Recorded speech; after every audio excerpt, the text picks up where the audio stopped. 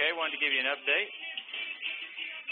I got my card done, all except the uh, putting the chips in the sockets, but I want to check the board out one more time.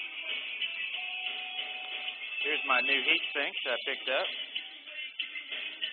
think that ought to keep things cool, but I'm going to chop it into a box.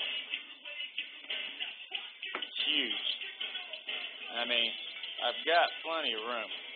Look at this. I can cut it there, cut it there, and still have enough for the back. It'll be great.